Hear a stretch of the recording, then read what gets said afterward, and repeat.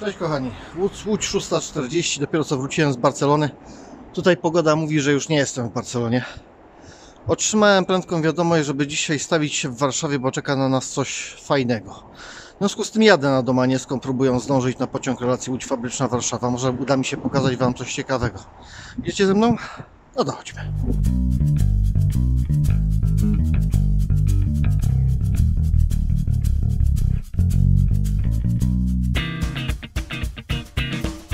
Nie jest źle. Mam już bilet jakieś 10 minut zapasu. Zdążę. No, Dorotko, definitywnie nie jesteś już w Kansas. Jesteśmy w dużym polskim mieście, w którym lokalną siedzibę ma firma Huawei. Nie siedźcie tak, poprawcie tam makijaże, wciągnijcie brzuchy i chodźcie oglądać cuda.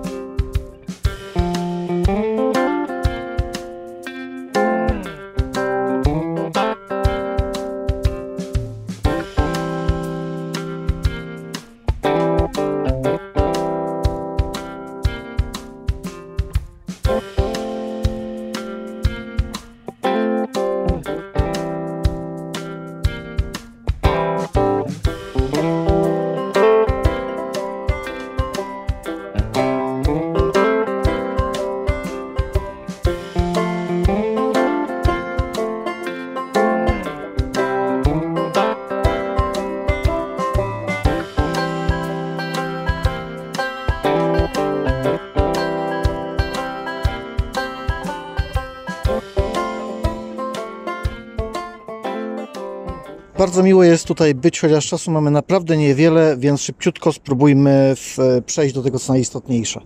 E, To, co mamy tutaj, to jest oczywiście Huawei Mate X. W obok e, chipu Kirin 980, który jak pamiętacie tutaj jest, pojawia się również modem Balong 5000. No, to jest całkiem przyzwoita prędkość, to jest prawdziwe 5G 4,6 gigabita na sekundę i to w pasmach poniżej 6 GHz.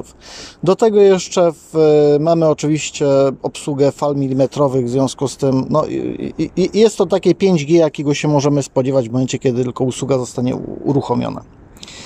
Yy, To, co widzicie, ekran to nie jest taka rzecz prosta. Inżynierowie Huawei musieli rzeczywiście bardzo długo nad tym pracować. Ja pytałem, tam udzielono mi odpowiedzi, że w ciągu trzech lat pojawiła się koncepcja, została zatwierdzona i w, rzeczywiście wylądowała w, w końcu w Mate Xie. To rozwiązanie, które jakby jest pomocne, żeby ekran się nie zawijał, żeby nie wychodził, żeby, żeby się nie wyginał. Jest nazywane Falcon Wing Design, czyli jakby design skrzydła jastrzębia. Jest oparty właśnie na tym, w jaki sposób składają się jastrzębie skrzydła. Globalnie rzecz biorąc pozwala na to, że właśnie wyświetlacz się nie zawija. Jeżeli popatrzycie na obudowę, no to obudowa jest bardzo cieniutka, jak na telefon składany. To jest 5,4 mm, jeżeli chodzi o jedną część. Po złożeniu to jest 11 mm. Najfajniejsze jest to, że w ręce trzyma się ten smartfon naprawdę bardzo fajnie. On nie sprawia wrażenia jakiegoś straszliwie grubego, może przez to, że się ma świadomość, że to są jednak dwa wyświetlacze, a nie jeden. Zupełnie inaczej się do tego podchodzi i zupełnie inaczej działa świadomość. No tak jak spojrzycie, te dwa wyświetlacze są dosyć duże, prawda? To jest to, co jakby właściwie dwa wyświetlacze, a jeden wyświetlacz, czyli jeden, który możemy podzielić na dwa. Huawei Mate X po rozłożeniu, słuchajcie, ma ekran 8-calowy. Bez dodatkowych żadnych wcięć. Jest tutaj oczywiście z boku miejsce na aparaty fotograficzne. To jest matryca olej Full View, ma przekątną 80 cali i rozdzielczość po rozłożeniu 2480 na 2200 pikseli. Kiedy złożycie go, no to mamy dwie sekcje. Z jednej strony jest troszeczkę większy, 6,6 cala o rozdzielczości 2480 na 1148 pikseli. Po drugiej stronie mamy 6,38 cala o rozdzielczości 2480 oczywiście, bo taka sama wysokość na 892 piksele. Wyświetlacze są bardzo fajne, możemy sobie uruchomić na nich dwie różne aplikacje. Pomagają również świetnie przy robieniu zdjęć, bardzo fajnie, fajnie to wygląda, bardzo, bardzo fajnie funkcjonuje. Tutaj y, prezentujący pokazywali nam smartfona jeszcze dosyć ostrożnie. Pamiętajcie, że to jest wersja przedsprzedażowa. Tutaj wszystko jest jeszcze bardzo delikatne. To jeszcze nie jest to, co trafi finalnie do sklepów. Natomiast y, daje nam jakieś pojęcie o tym, czego się możemy spodziewać. Na pewno Was martwi to, że są dwa wyświetlacze. No, a, a co z baterią? Są tutaj, słuchajcie, dwa akumulatory w jednej części i w drugiej części drugi. Łącznie mają 4500 mAh, działają jako jeden. No i tutaj pojawia się momentalnie pytanie: 4500 mAh dwa wyświetlacze oddzielnie albo jeden duży, no to dosyć szybko chyba ta bateria będzie się wyczerpywała. I w tej kwestii producent również zrobił coś dodatkowo.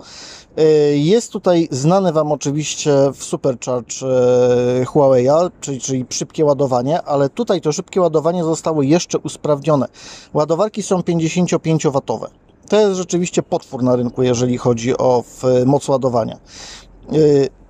E, Wedle tego, co usłyszeliśmy w Barcelonie, żeby napełnić akumulator do wartości 85% pojemności, potrzeba 30 minut. Jeżeli tak rzeczywiście będzie w tej wersji końcowej sprzedażowej, no to szapoba po prostu czapki z głów, słuchajcie, dlatego, że rzeczywiście jest to technologia dosyć niesamowita. E, co jeszcze mogę powiedzieć? No mogę Wam powiedzieć, że robi dobre wrażenie, tak? Jest rzeczywiście dopracowany. W momencie, kiedy e, wyświetlacz doprowadzimy jakby do takiego stanu, że on jest zupełnie otwarty, yy, nie widać żadnych zagięć, żadnych jakichś pofalowań. W momencie, kiedy nie jest do końca otwarty, yy, wtedy można się spodziewać niewielkiej wypukłości na środku, ale powtarzam nadal, to jest wersja przedsprzedażowa. To jeszcze nie jest egzemplarz, który pójdzie do sklepu. Mam nadzieję, że w egzemplarzach, które pójdą do sklepu, to zjawisko już nie będzie występowało. E, jeszcze raz zdaję sobie sprawę z tego, że to jest rzecz bardzo trudna, żeby doprowadzić do tego, żeby ten wyświetlacz się nie wyginał. Tutaj jest troszeczkę większa szansa na to, że on mechanicznie przede wszystkim wytrzyma troszkę dłużej niż te, ten wyświetlacz z najnowszych te, z najnowszego Galaxy tego zaginanego. Głównie dlatego, że tam jest bardzo malutki ten promień wygięcia. Tutaj promień wygięcia jest y, większy, to jest inny projekt. Y, to jest wyświetlacz na, ob, na jakby obrysie zewnętrznym smartfona. W związku z tym jest szansa, że mechanicznie to po prostu wytrzyma nieco dłużej. No i cóż jeszcze mogę Wam powiedzieć? Mogę Wam powiedzieć to, przed czym się jakby wstrzymuję przez cały czas, dlatego że jest to wiadomość chyba najmniej wesoła z tych wszystkich, które Wam do tej pory podałem.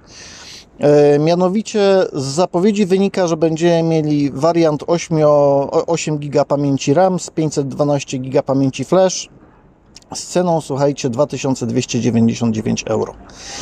No jest to, jest to cena rzeczywiście ogromna, jest to cena na pewno wyższa niż w przypadku Galaxy, natomiast otrzymujemy za nią troszeczkę inny design i prawdopodobnie inną funkcjonalność. Tutaj trudno jest cokolwiek jeszcze powiedzieć pewnego, Głównie dlatego, że nie mogliśmy Samsunga wziąć do rąk. Huawei udostępnił dziennikarzom, co prawda niestety nie wszystkim redakcjom, bardzo szkoda, ale takie były możliwości, takie były warunki. Natomiast tutaj już można było obejrzeć i stwierdzić, że to jest rozwiązanie dosyć fajne, Natomiast rozwiązania Samsunga do ręki wziąć nie mogliśmy, bo również w Barcelonie e, Galaxy zaginany był po prostu w gablotce. Zresztą podobnie jak Huawei Mate X był tam w gablotce. Dopiero dzień po powrocie mogliśmy rzeczywiście tego smartfona wziąć do ręki. E, w przeliczniku te 2300 euro daje, słuchajcie, u nas jakieś 10 tysięcy, z tym, że prawdopodobnie będzie trzeba tutaj jeszcze doliczyć VAT. W związku z tym może się okazać, że ten no, dosyć wyjątkowy smartfon, jakby na to nie patrzeć, dosyć innowacyjny smartfon, będzie kosztował gdzieś w okolicy 12 tysięcy. Mam nadzieję, że się mylę, mam nadzieję, że to będzie mniej, bo ocenię jeszcze w tej chwili za wcześnie mówić na polskim rynku. Yy, pamiętajcie również, że pojawi się on dopiero w okolicy połowy tego roku i wtedy możemy oczekiwać premiery światowej. Ona się odbędzie, mamy nadzieję, w, yy, no już niedługo. Natomiast jeżeli chodzi o premierę polską, premierę rynkową również, no to tutaj nie jesteśmy w stanie podać dokładnej daty, po prostu nie wiadomo jeszcze. Za mną, kochani wieżowiec z polską siedzibą Huawei, a ja jestem po obejrzeniu po pomacaniu ze wszystkich możliwych stron Huawei Mate X. Co prawda było troszeczkę króciutko, chciałbym więcej, no ale będzie trzeba poczekać do połowy roku, kiedy smartfon pojawi się na rynku i będzie można go dotknąć, kiedy będzie miał również premierę. No cóż, czuję się wyróżniony rzeczywiście jako redaktor MGSM.pl w przez to zaproszenie. Redakcji było niewiele, zdaje się, że około sześciu.